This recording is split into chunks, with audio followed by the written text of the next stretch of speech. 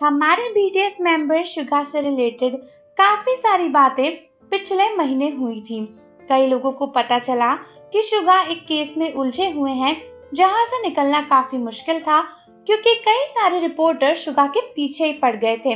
उन्होंने तो हाथ धोकर ये सोच ही लिया था कि बस शुगा के पीछे पड़ना है और उनको यूज़ करके बस पॉपुलैरिटी गेन करनी है।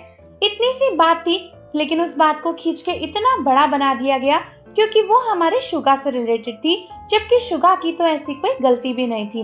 हालाँकि दोस्तों, आप में से कई सारे लोगों को पता ही होगा कि ये केस पुलिस से ट्रांसफ़र होकर प्रोसिक्यूशन यानी केस लॉ को चले गया था कोर्ट को चले गया था, और उसके बाद सभी लोग इंतज़ार कर रहे थे कि कोर्ट अपना डिसीज़न कब सुनाएगा। तो कई सारी आर्मीज जो कि नहीं जानती है कि कोर्ट ने शुगा के केस पर फाइनल क्या डिसीज़न सुनाया है, वो मुझसे बार बार पूछ रही थी कि आगे शुगा के केस का क्या हुआ और फाइनल अपडेट क्या है। तो दोस्तों, मैं इस वीडियो में आपको बताऊँगी कि शुगा के केस का फाइनल अपडेट अब क्या है, क्या शुगा निर्दोष साबित हुए हैं, या फिर उनको सजा मिलेगी, या फिर आगे शुगा की लाइफ में क्या प्लानिंग रहेगी, वो सब हम इस वीडियो में जानेंगे। तो आगे बढ़ने से पहले चैनल को ज़रूर सब्सक्राइब कर दो और बेल आइकन को भी प्रेस कर दो। तो दोस्तों, जैसा कि आप सबको पता है, हमारे शुगा से एक छोटी सी गलती हो गई थी, लेकिन लोगों ने तो उस दिल का ताड़ बना दिया। सभी लोग शुगा के पीछे पड़ गए और न्यूज़ और मीडिया वालों ने तो भर भर कर शुगा की इंसल्ट करी, जिसके बाद एक न्यूज़ वालों को तो माफ़ी भी मांगनी पड़ी और कोर्ट ने उनके ऊपर भारी पेनल्टी भी लगाई, क्योंकि उन्होंने गलत वीडियो यूज़ करके शुगा को एक्यूज किया था। और फेक वीडियो दिखाकर ये बोला था कि ये शुगा की सीसीटीवी कैमरा फुटेज है, जिसकी वजह से शुगा की काफ़ी बेजती हुई थी और कई लोग शुगा के ऊपर ये इल्ज़ाम लगा रहे थे कि शुगा झूठ बोल रहे हैं, जबकि शुगा ने ऐसा कुछ किया भी नहीं था।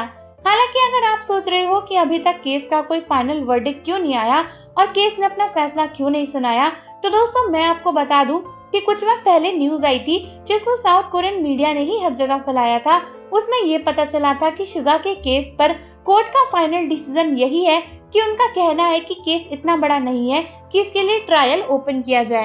ट्रायल ओपन किया जाए मतलब कि शुगा को केस में कोर्ट के सिलसिले में ना बुलाया जाए और उनसे कोई भी और पूछताछ ना करी जाए। तो कोर्ट का आखिरी फैसला यही था कि शुगा को कोर्ट में नहीं बुलाया जाएगा, उनकी कोई भी सुनवाई नहीं होगी और उनसे कोई भी फर्दर पूछताछ नहीं करी जाएगी। हालाँकि कोर्ट ने यह फैसला ज़रूर लिया था कि शुगा की गलती है तो इसीलिए उनके ऊपर काफ़ी सारे पेनल्टी और फाइन्स लगेंगे। तो दोस्तों, यही था कोर्ट का फाइनल वर्डिक शुगा के केस के लिए।